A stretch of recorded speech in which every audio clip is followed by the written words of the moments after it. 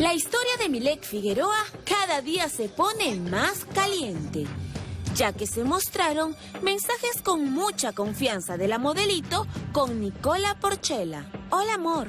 Hola, Beba. Cositata. Pero no me confundas, no soy esa negra leprosa. Ja, ja, ja. Claro, Beba, tú eres mejor. Negrastel. Mañana embarcadero con Willy, ¿vas? Claro, hacer cosas ricas, mi leche. Ya sabes, tu micro short como la otra vez. No, no, me miras mucho el poto, Nico. es que es tan rico. Manda foto. Ya, ya, ahorita. Y es por eso que salió al frente la novia, la oficial, la catedral, Angie Arizaga, y habló sobre los supuestos mensajes de la Candy en su contra. Hola, ¿qué tal? Buen día, Angie. Sí, Angie, ¿qué tal? Buen día, María. hola. ¿Qué Hola, bien. Básicamente te estaba llamando porque, bueno, comprenderás que en estos últimos días han salido varios mensajes, pantallazos. Dicen ser de un teléfono de la señorita Milek Figueroa, que se había referido despectivamente hacia tu persona. Me sorprendió respecto a eso, tenía que igual yo había dicho que no iba a hablar del tema, porque no me, no quiero meterme aquí en ese directo, no quiero. Pero al parecer, la morena cree en la palabra de su novio y minimiza los mensajitos. Muchos agarran y dicen, bueno, es un grito a voces que al final ustedes no llevaban una buena relación. ¿Por qué salen este tipo de mensajes ahora? ¿Son reales o no? Sí, pues yo la verdad creo que no, o sea, eh, lo que he hablado con que, de que me dice que no, no son reales. Y nada, muñeca, yo verdad no quiero, no quiero pelear, no quiero estar peleándome y que todo el mundo se entere, o no quiero estar en dimes y diretes con otras con terceras personas. Pero sí que le refriegue en su cara lo bien que le está pasando con su novio. Y hasta afirma que podrían llegar al altar. Yo estoy feliz con mi relación. Estoy bien con mi relación, todo perfecto. Mi relación con mi padre está muy bien. Estamos muy felices de cómo va, de cómo ha madurado. Y las cosas que yo tengo que solucionar con Nicola o las cosas que pasan, las hablo en encuentro con él. Ustedes ahorita están bien, de repente no sé, están pensando ya o tienen planes de matrimonio. Ya. Eh, sí, obviamente no lo hemos pensado, ¿no? Pero la fecha aún no la tenemos, pero sí nos gustaría, si somos felices y queremos seguir juntos, ¿por qué no? Pero la morocha se baña en mantequilla totalmente. Cosas como estas no van a incomodarlo. Exacto, exacto. Cosas como no, no va a quebrar mi relación. Pero sí han conversado al respecto y sobre todo por los mensajes que están saliendo. Eh, sí hemos hablado, este, pero nada, estamos bien. Ya.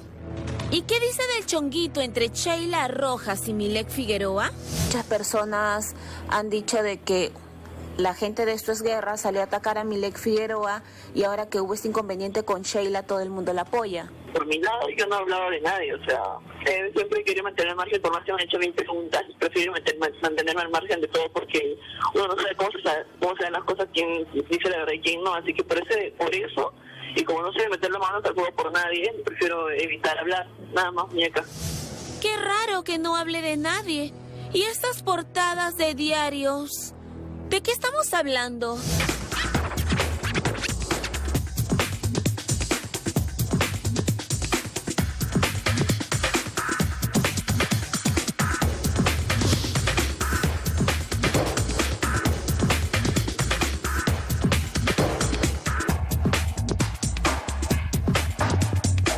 Llevabas una buena relación, o bueno, en este caso te limitabas cuando esta chica estaba en el reality.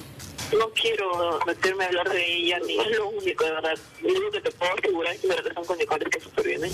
Mm, qué bueno. Creo que eso se la manda derechito a Milek. Algo así como envidia mi felicidad. Y de hecho que sí, Angie pone las manos al fuego por Nicola. Ay, mamita, no metas mucho las manos al fuego porque te puedes quemar. ¿Será por Angie, por Oh. Chela o por Milet? Por Milek, pues. Chicos, yo, yo sé algo que cuando Milek Figueroa, ¿sabes? Tranquilos, tranquilos, porque cada que dices algo de toda esa gente me da miedo. Me da miedo, a ver, a ver, No, a a ver. mí me Cuenta. comentaron hace mucho tiempo cuando Milek Figueroa ingresó al, al reality, le encantaba Nicola Porchela. Le enca- y en ese entonces, eh, Angie Aguizaga con Nicole estaban como que temblando, su relación no era buena. Para mí, No toda la- sabe, para Leslie. mí Y las malas La lenguas relación de Nicola y Angie siempre tembló. han sido- Siempre tembló. Y las malas lenguas dicen que ellos salieron por dos meses, Nicola con Milek Figueroa. Nicolás, ah, ¿Ah, sí? Por Ay, dos espérame, Entonces, tal, Dos veces. vez estas conversaciones serían de esa época. Puede Podría ser. ser. Pero acá hay una no. cosa bien clara. Todo el mundo dice... Por lo que, por lo que dice el contenido, no se Todo el en mundo esa dice época. que Milet sí, esto, el otro, pero para hacer algo es de dos. No le van a tirar la pelota a una porque ahí, como tú decías, Rosana, hace un rato, una mujer se le puede ofrecer a un hombre. Y estoy Y más que hombre- seguro que el 80% va a atracar cuando la mujer... Carla, tienes eso. razón, ¿ah? Lo mismo pasó con Sheila, el otro chico no dice nada. Aparte una cosita, eso de que una familia, la familia está en tu casa, ustedes allá en esto es guerra, van a trabajar, les pagan un sueldo y punto. Sí, es guerra, además. Ahí no está tu mamá, tu tía ni tu madrina, son tus competidoras, todas son competencia, por favor. Están que se miran quién tiene el poto más grande, ¡Oy! quién tiene los senos más bonitos y quién es más bonita y me van a decir que es una Bonito. familia. Por favor. Hoy No viene, creo, no. Metiche, hoy viene. Jenny Alves. Oh, después de tiempo. Se acerca, se acerca el lanzamiento de la segunda edición. Ah, qué bonito. además, No. ¿Qué cosa? Y- No, y Jenny viene a hablar de Gracie Ulloa porque Milena ha dicho que Gracie tiene su padrino. ¿Quién será el Viene padrino? Marlene, la esposa del parcero. Uy, nos va a contar cómo va el de- de- del parcero. padrino. ¿Quién será el padrino, oye, de Gracie? Si ya no es Edwin, ¿ahora quién queda? Oye, pero espérate, viene Jenny Alves y viene Marlene. Pero una no por una ver, puerta y la otra por la Ah, ya. cochera. Sí, no creo Oye, que y viene, viene la mamá y el tío de la chica de Corazón Serrano, de Carla Sofía. Carla Sofía Bueno, Torres, vienen ¿no? a responder La mamá lo que está el día de indignada. ayer Sí. el señor Lorenzo, uno de los dueños de Corazón Serrano, vino a hablar y ahora ellos vienen a responder y están muy indignados y molestos. Sí, ahora vamos a conversar preguntas. Esa- esa- Chicos. esa- ese contrato que fue redactado y que no lo firmamos. Ese contrato ridículo. extraño. El día de ayer era la 2 de citación de migraciones de Gracie. ¿Qué pasó? Eh, bueno, la- estuvo para otro canal que a lo mejor veamos. veamos Oye, ¿cómo se escapó por atrás? Sí, qué raro, ¿no? Ay, ay, ay. ¿Con quién coordinó? No hay, simple y llanamente se va a cumplir con lo que la policía está haciendo, ¿no? O sea, es su deber de la policía, de acuerdo a migraciones, y vamos a hacer un esclarecimiento nada más. Ayer, a las 9 y 20 de la mañana, Gracie Ortega Ulloa se hizo presente a su citación con extranjería junto a su abogado, en la que decidirían su permanencia en el Perú. A diferencia de su hermano Juan Carlos, la bailarina no mostraba miedo en su rostro. Decir que no he matado a nadie. Recordemos que el pasado viernes, cuando Gracie fue llevada de emergencia, un representante de extranjería fue a entregarle una citación. Le entregaba una citación a la señorita Gracie. Sí. ¿Cuándo le han citado a Gracie, señor comisario? Septiembre, 2 de septiembre. 2 de septiembre. No sé si no acude a esa situación. No creo, yo creo que va, va a concurrir. Y este pedido venía de Milena Zárate, quien no podía soportar que aquella hermana que se burló de ella al supuestamente involucrarse con su pareja Edwin Sierra estuviera viviendo feliz en nuestro país. Mientras que su hermano, quien le rompió la camisa al cómico para defenderla, haya sido deportado.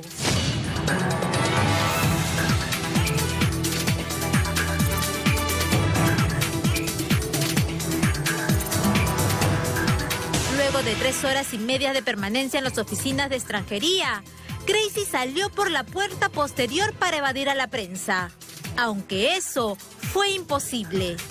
Y al preguntarle sobre su situación en nuestro país, solo respondió. Pronto sabrá.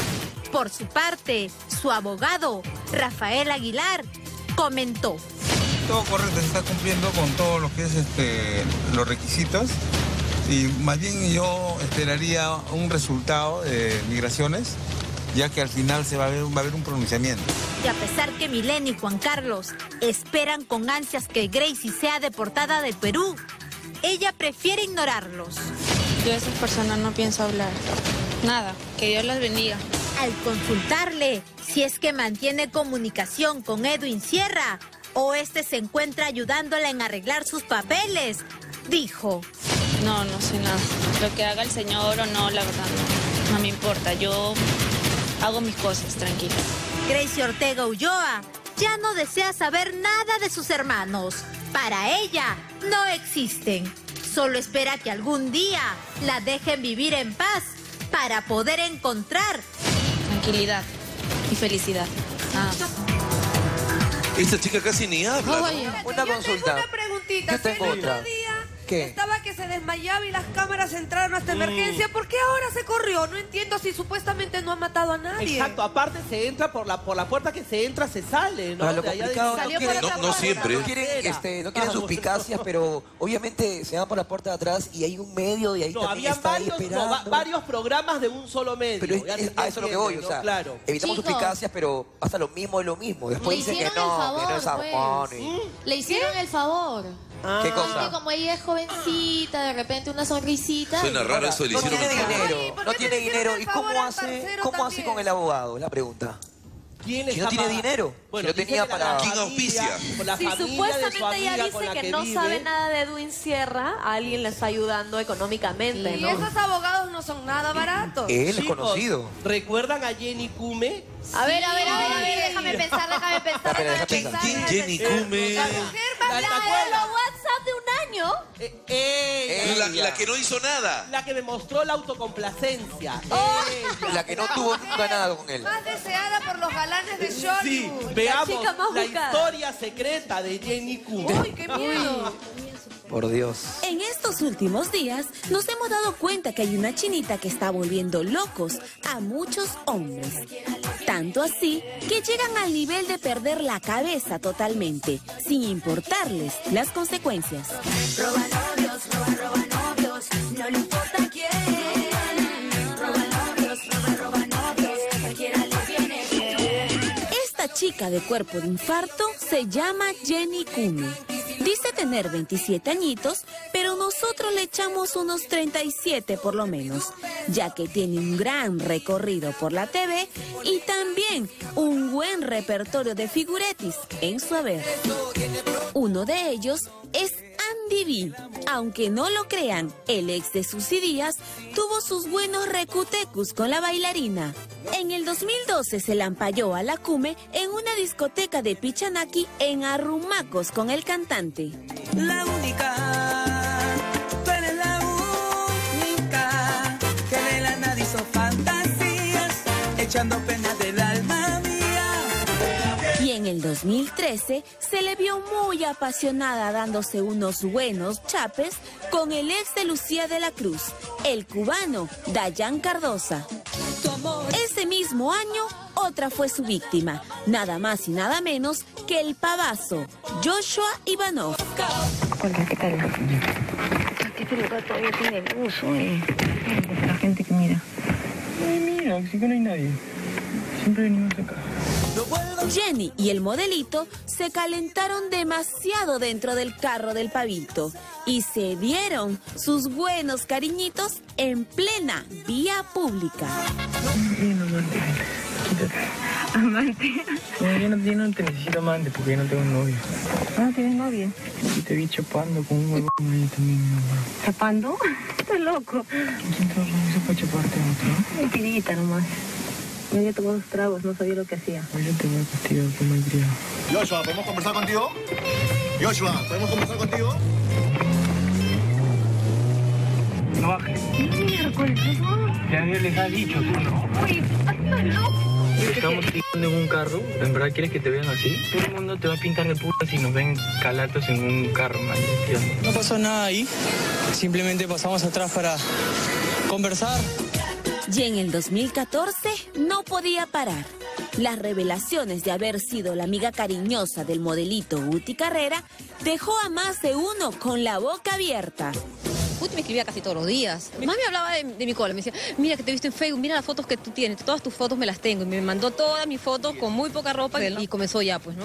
Así me gustaría tenerte. Me gustaría tenerte, hacer lo que esto, que lo otro. Te quiero hacer esto, te quiero dar por acá, por, por acá. Y yo le decía, no, porque como ya lo había visto en fotos, estás loco, me, me, me mata. No. Yo he recibido por lo menos 20 videos. O sea, él lo que quería era, ya sabes, hasta ahora yo tengo las fotos más hot. Ya, si es él, es... Uy, Dios mío, no, mejor... Dios, bien fuerte, ¿ah? Yo no creo que no haya pasado algo. Es que nadie me cree, no entiendo. Porque todo el mundo dice, wow, tiene tremendo. Según me dicen, perro que ladra no muerde, pero igual no me voy a confiar, ¿no? ¿Pero qué le ven los hombres a la chinita?